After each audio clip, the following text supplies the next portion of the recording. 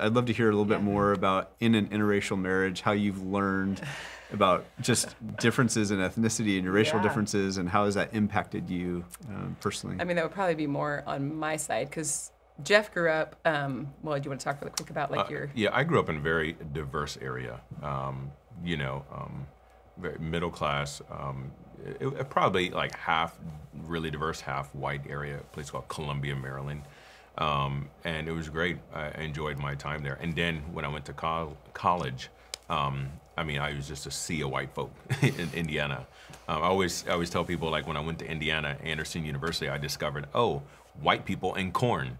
Um, this is where they are, you know. And so, um, so I just, I just, you know, and and even the last 20 years of my life have been in white church, where the first um, uh, first half of my life has been black church, even though it was very diverse black church. And so I just, I've already like had this. Um, um, this view uh, of understanding different cultures. Uh, you know, I mean, praise the Lord, I picked her, but uh, people would say, you know, Jeff, you're an equal opportunity dater.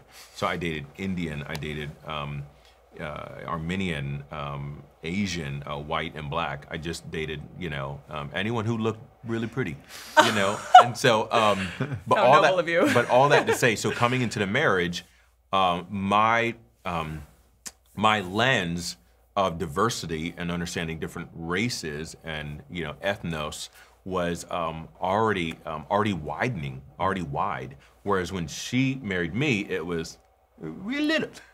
Um, but you talk about that.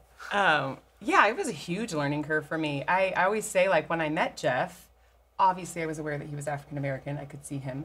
Um, but it wasn't a huge, interestingly, like, I wasn't, it was not a huge thing on my radar as far as, like, do I like or not like this? Is this or is this not an issue? It was like, he loves Jesus. I love his character. I love his humor. Like, I love that we can talk about deep stuff and then laugh our heads off for two hours. Like, I, and there he's were incredibly other good things. looking, of course. I was waiting. Come on, I was Yeah. waiting.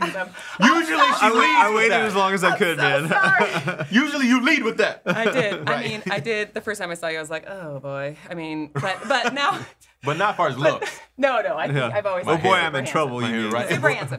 But anyways, we get married, and I realize like, whoa, like this is a huge thing, and I am now responsible to like learn and be a part of this. And I mean, it, it's not without its bumps and bruises. Like. We'd been married two years and we were at his parents' house, and I said a comment that in my white brain made total sense, and it was highly offensive to his family. And it, it went very poorly. I mean, I ended My up downstairs so. crying. Yeah. Jeff is upstairs. I can hear him like yelling, defending me. And I mean, it was just, it was a very difficult It conversation. was the scene. Yeah. It was Yeah. a scene. Um, and later on, one of Jeff's sisters was very great. I came upstairs. We kind of resolved it. Well, really, your dad just My put it to rest because your Yes, dad he is He settled the matter. he was like, "We all racist. We all love Nicky. It's over." I was like, "Oh my gosh." um, but anyways, his sister came down and just talked with me for a while. Like, this is why that's so offensive. Like in you know in our culture, like this is what we're told is beauty, and the way that you framed that made that sound like you believe that's beautiful, which makes us feel not beautiful and not mm. seen. And again, it was totally ignorance on my part. I come home and I'm talking to one of my best girlfriends is black, and we were chatting about it, and I was like, I just it was a comment out of ignorance, but it certainly was not intended to cause pain, and I basically got roasted for it. And she was like, At what point, as a Caucasian, when your ignorance is hurting people of color, do you own that ignorance and change it so that we don't have to keep saying, I'm sorry? Right? And I just remember sitting there like, Whoa, like That's good. that's That's totally accurate. Like, and being married to a black man, and now we have children, you know, biracial children who will, you know, 75% of biracial children that are black and white self identify as black when they're an adult. So I'm like, mm-hmm. I have to, like, I gotta fix this. I have to mm-hmm. educate myself. I have to be more aware of like what this world looks like. What does the lens of a person of color look like in America? Because I have learned over the last 12 years, it is it is night and day from my white lens. Right. And not in a bad or a good. I mean, it, it just is. just like their different, yeah. experience is different than ours. So it's been, Jeff has always been very gracious. He's never um, angry or militant with me. He is a safe place for me, which is necessary. I was listening to a podcast just about everything going on in our country. And the man said, like, both people that come to the table for conversation have to feel safe. It's an inherent human need. I can't come to a conversation about anything, much less something as charged as race, and not feel safe and have the conversation. So I'm so grateful that I have people of color that are safe places. My other girlfriend's are really safe place.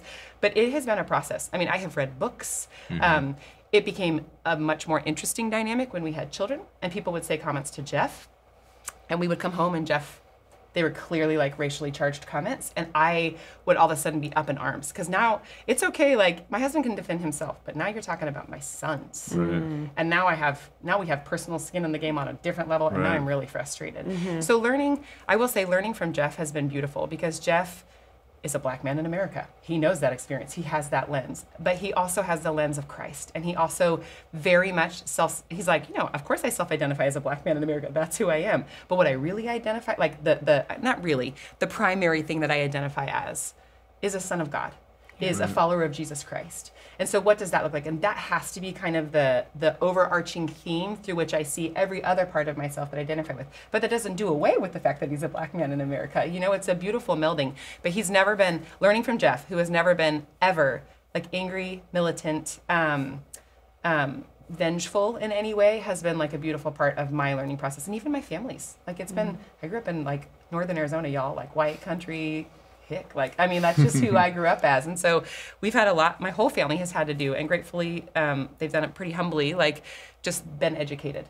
So it's been a process. It has not always been easy but it has been a beautiful process. I like to tell people we believe in building bridges and bringing people together and unifying and i feel like our marriage is a picture of that. Yes, we it is. Wow. chose knowing Yes, going in like this this actually might not be easy. Like there's going to be hurdles we have to overcome but i see so much beauty in that when our fathers you guys who are 72 black and white both pastors they were like singing around our family's piano last year christmas i might get a little teary-eyed Yeah. it was such a beautiful moment of like man 50 years ago that would not have happened Yeah. Right. my Yeah. father-in-law i mean self-admittedly like had so much animosity towards white men and right rightfully so if you hear his story.